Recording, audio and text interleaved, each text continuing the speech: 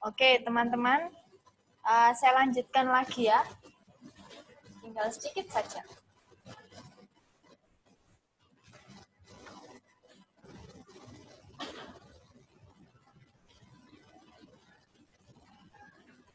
Sampai flatulence. Hemoroid ya sekarang. Oke. Okay. Uh, berikutnya adalah hemoroid, permasalahan salah satu permasalahan yang ada di eliminasi fekal atau ALFI itu adalah hemoroid. Hemoroid terjadi apabila uh, vena pada lapisan rektum itu mengalami dilatasi dan menggelembung. Ya, hemoroid itu ada internal dan eksternal dan sering kali menyebabkan nyeri. Nah, sudah saya bilang tadi faktor yang mempengaruhi uh, eliminasi fekal atau ALFI itu adalah nyeri. Jadi seseorang cenderung menghindari supaya saya nggak nyeri, makanya saya nggak BAB. Hemoroid ini bisa disebabkan karena peningkatan tekanan vena, sering mengejan saat BAB. Kemudian kehamilan, ya kalau kehamilan jelas ya tekanan di dalam uh, abdominal juga meningkat sehingga konstipasi terjadi, sering kali mengejan. Kalau mengejan terjadi, maka bisa venanya mengalami dilatasi. Kemudian pada kasus gagal jantung dan penyakit kronis. Nah, ini pengalihan usus. Maksudnya pengalihan usus ini adalah beberapa tindakan medis yang dia uh, seharusnya kan feses itu dikeluarkan lewat anus. Nah, tapi ini dialihkan jalannya, jalan alternatif karena beberapa penyakit itu bisa dilakukan ostomi, kemudian kolostomi, Kolostomi ini ada biasanya sering disebut dengan enkolostomi sama kolostomi double barrel. Nanti kalau mau mempelajari lebih lanjut bisa bisa dibaca sendiri buku atau di jurnal. Oke, hal yang perlu dikaji pada pasien dengan masalah eliminasi alfi. Tentunya riwayat kesehatan, kita melihat apakah ada infeksi tumor, riwayat pembedahan, kemudian riwayat ketergantungan obat-obatan, ini ya, laksatif, jadi kalau sudah terpapar laksatif dalam jangka waktu yang lama, maka dia akan mengubah fisiologis. Jadi kalau nggak pakai laksatif, dia nggak bisa. Kemudian usaha yang dilakukan untuk defekasi yang normal atau mempertahankan pola defekasi. Misalnya apakah pasien itu berusaha untuk mengkonsumsi makanan yang tinggi serat. Berikutnya pengajian pola defekasi. Itu yang dikaji adalah frekuensi dan waktu defekasi dalam satu hari kognitifnya, apakah pasien itu tahu cara mempertahankan pola eliminasi atau defekasi yang baik seperti apa? Secara psikologis, apakah mungkin ada faktor pencetus stres yang menyebabkan uh, terpengaruhnya proses defekasi? Terus dilihat juga karakteristik feses, ini warna, bau, teksturnya, konsistensi, bentuk unsur abnormal, misalnya ada lendir, atau ada darah atau ada nanas. Eh nanas. Nanah ya Tuhan. Iya. Tadi kami habis makan rujak jadi saya bacanya nanah itu nanas. Maaf maaf. Ya. berikutnya diet ya. Yang uh, diet ini makanan yang biasa dimakan apa? Apakah tinggi serat atau rendah serat Terus cairan. Nah, asupan cairan perlu dikaji. Jadi teman-teman nanti setelah ini perlu mempelajari kebutuhan cairan seseorang. Normalnya seperti apa. Itu harus tahu. Kemudian aktivitas. Apakah kegiatan sehari-harinya itu mobilitas tinggi atau mungkin mobilisasi atau bed rest. Penggunaan obat-obatan yang mempengaruhi vegetasi pemeriksaan fisik dimulai dari mulut ya. Keadaan gigi yang buruk, susunan gigi yang buruk tentunya akan mempengaruhi kemampuan pasien. Jangankan keadaan gigi yang buruk, kadang sakit gigi karena bengkak, bengkak gigi bungsu aja juga malas makan. Nah, kalau malas makan itu bisa mempengaruhi nanti hasil keluaran dari eliminasi alfi. Kemudian abdomen, ada tidak distensi, simetris atau tidak, gerakan peristaltiknya bisa kita nilai dari pemeriksaan bising usus ya. Normalnya 5 sampai 35 ya. Kemudian uh, rektum. Rektum kita lihat apakah ada tanda-tanda inflamasi, perubahan warna lesi, fistula, hemoroid, atau adanya masa. Dan pemakaian alat bantu kolostomi. Pemeriksaan penunjang yang pertama ini adalah spesimen feses ya, fecal occult blood testing. Kemudian juga rektoskopi, proctosigmoidoskopi.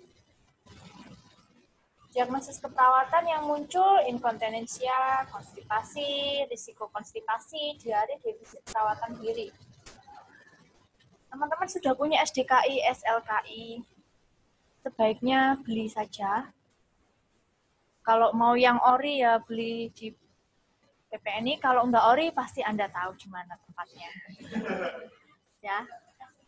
Ada aplikasinya, betul. Kalau saya biasanya pakai yang nursing nursing apa ya? Ya, nursing diagnostik. Sebenarnya, kenapa? Sepertinya ya cukup sih. Kalau saya, kalau menurut saya ya. Kalau menurut saya cukup. Kalau mau yang murah kan ada. Nanti kalau mau tahu, kita diam-diam aja ya. Saya kasih tahu. Ya.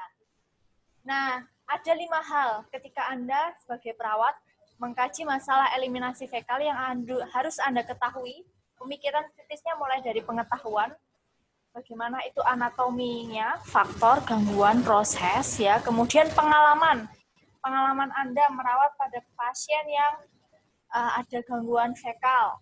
Kemudian pengkajian.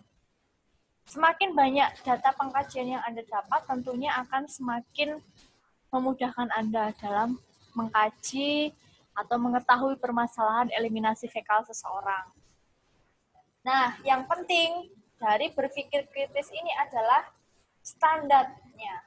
Jadi Anda harus punya standar relevansi keakuratan spesifikasi. Nah, kita bisa lihat nanti di uh, eh, SLKI ya. Eh, ya, SIKI, SIKI. Standar Intervensi uh, Keperawatan Indonesia. SIKI. Lihatnya di situ. Kemudian juga ini perilaku. Perilaku ini maksudnya tindakan kita sebagai perawat bagaimana kita uh, implementasi atau melakukan tindakan-tindakan berdasarkan pengetahuan, pengalaman kita dan pengkajian yang sesuai dengan standar untuk dilakukan ke pasien itu supaya masalah eliminasi fekalnya teratasi. Nah, berikutnya adalah metode pemenuhan kebutuhan eliminasi alfi. Wah, ini banyak sekali ya. Pasti sudah tahu. Sering dilakukan juga kalau di ruangan. Mengeluarkan feses secara manual, oke, sudah biasa ya. Ya, ini rektum tuh saya masukkan jari kita ke. Nah, tinggi, hukna rendah itu ini sebenarnya posisi uh, ini penempatan ya anatominya Eh, sebaiknya kan miringnya ke bagian kiri ya, karena secara anatomi kan rektum itu lebih mudah dikeluarkan kalau dari bagian kiri. Terus ada medicolisma, glycerin spad, gel solution, bowel training, gitu ya.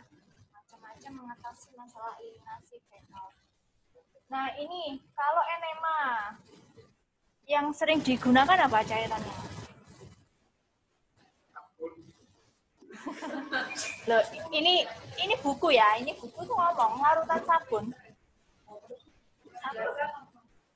Biasanya apa kalau di teman-teman di Siloam pakai apa? NaCl 0,9 persen. Kemudian yang teman-teman di RKZ pakai apa? Air hangat. Terus di Nahos pakai apa? Kalau enema?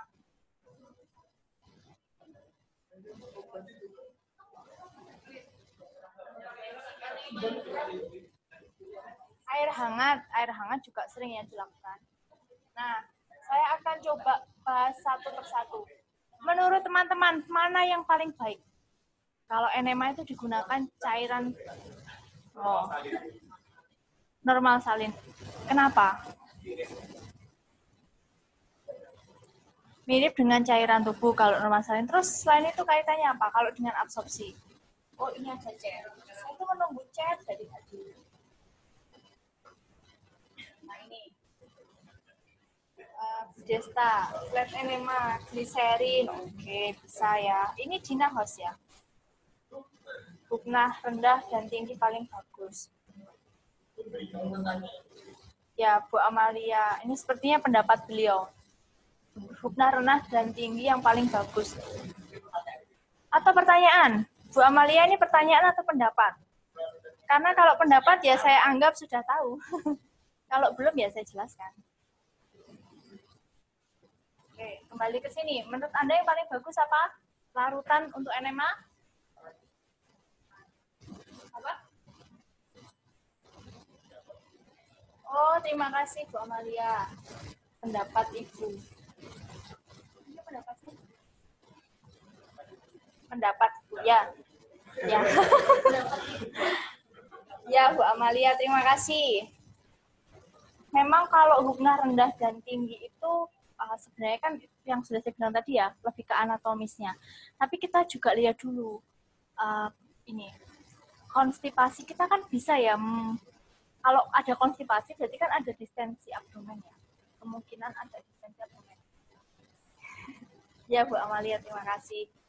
Kalau misalnya dia uh, di bagian atau misalnya ada nyeri di bagian bawah konstipasinya itu sudah masuk ke turun bawah ya di area uh, apa kolon descendant atau masuk ke rektum itu sebaiknya kita pakai yang nah tinggi supaya lebih uh, cepat keluarnya. Tapi kalau dia masih di bagian atas, kita bisa pakai rendah. Gitu. Caranya kita tahu gimana. Kalau dari pemeriksaan fisik bisa pakai itu tadi. Kita perkusi ya, ada distensi abdomen atau enggak. Atau kalau dari pemeriksaan penunjang, kita bisa lihat dari kolonoskopinya atau mungkin uh, eh, BOF ya, ada ya. Bisa lihat feses. Nah, kita bisa lihat dari sana. Tuh, kembali ke sini cairan yang paling bagus adalah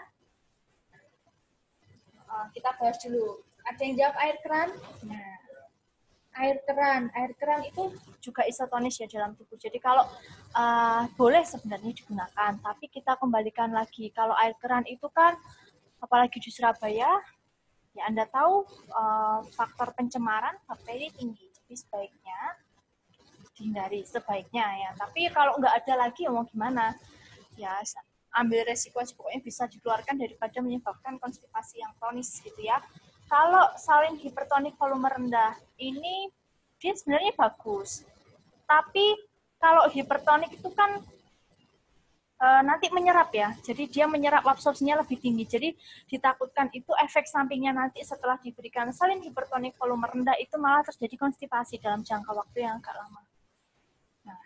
Kalau larutan sabun sama, larutan sabun itu lebih ke hipertonik ya.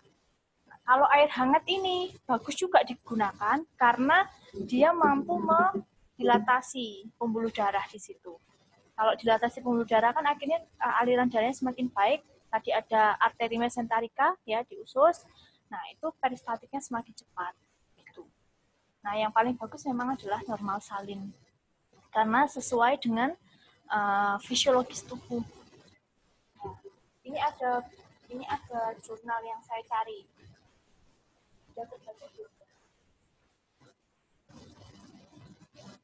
Ini kelihatan enggak ini enema ion composition for exchanging colorectal drug delivery. Jadi kalau misalnya ada pasien itu kaitannya uh, dilakukan apa? Diurus-urus ya misalnya. Tujuannya untuk pengobatan itu memang yang paling baik dia adalah pakai eh, NaCl. Sampai sekarang itu masih di penelitian ini tahun 2015 sampai sekarang masih bisa dibuktikan kalau isotonis NaCl itu paling baik digunakan pada proses enema. Dan pada NaCl ini tidak mempengaruhi uh, ini pengaruh obat, tidak ada pengaruhnya dengan obat karena isotonis. Oke, sampai sini ada pertanyaan?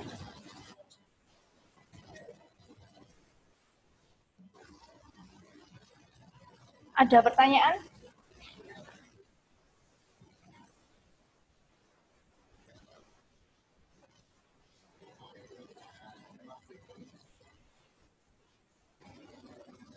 Kalau ini nggak ada pertanyaan, jadi hari ini dari saya tidak ada penugasan ya hari ini hari ini aja hari ini nggak ada penugasan nggak ada penugasan. Karena ya saya sadar diri saya juga ini ya. Saya juga memberi kesempatan anda bernafas ya. Hati-hati. Oh ya teman-teman yang di yang tidak di sini saat ini hati-hati kalau mengerjakan tugas saya. Mohon tidak plagiat ya, tidak plagiasi. Karena pasti saya akan ngecek. Saya pakai aplikasi plagiarism ya, saya tahu mana yang ambilnya dari online website. Kadang tuh kalau online websitenya itu website jurnal enggak apa-apa, saya terima. Tapi kebanyakan itu ambilnya dari blogspot itu yang saya sayangkan. Karena kalau blogspot tidak bisa dipertanggungjawabkan kebenarannya. Walaupun ada daftar pustaka, nah sebaiknya Anda buka di daftar pustaka, jangan di blogspotnya itu. Saya akan lebih appreciate kalau Anda buka di jurnal. Banyak sekali jurnal yang bisa kita akses. Anda bisa buka PubMed, kemudian Elsevier, ProQuest, banyak sekali. Kalau ProQuest minta passwordnya ke Pak Anggi di perpustakaan. ProQuest, PubMed, Elsevier, PubMed, P-U-B-M-E-D.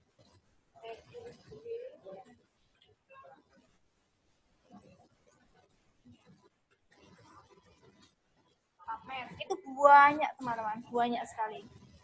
Pamer, ProQuest, Elsevier bisa. Kenapa? Ada, tapi kalau nursing saya biasanya pakai yang langsung ke PubMed. Kalau PubMed itu soalnya medis tapi luas, jadi nggak hanya nursing aja.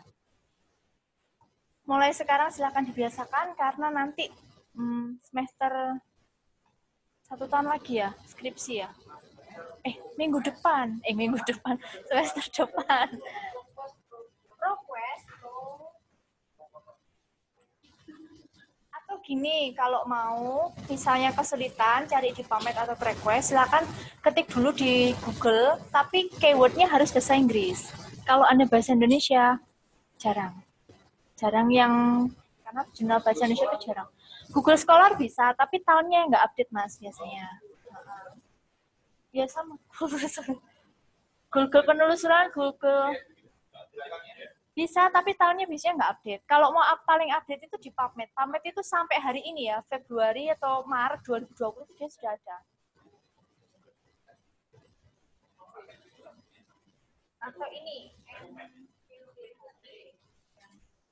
NCBHI.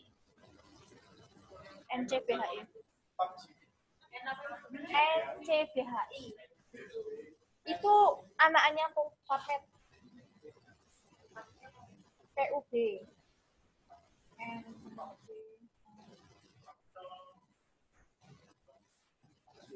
Oh, sorry, sorry. NCBI. NCBI. Maaf, maaf, maaf. Itu boleh setelah ini biasanya yang sulit diakses itu yang logonya kuda. Itu aksesnya sulit. Jadi biasanya berbayar. Apa itu? Saya lupa namanya. Bukan sping. sping apa saya lupa. Oke, gitu ya teman-teman. Masih banyak waktu yang tersisa, silakan digunakan belajar mandiri dan mengerjakan tugas yang lain. Terima kasih untuk perhatiannya. Semoga apa yang saya berikan bermanfaat. Dan sampai jumpa minggu depan. Selamat sore. diciamo che via.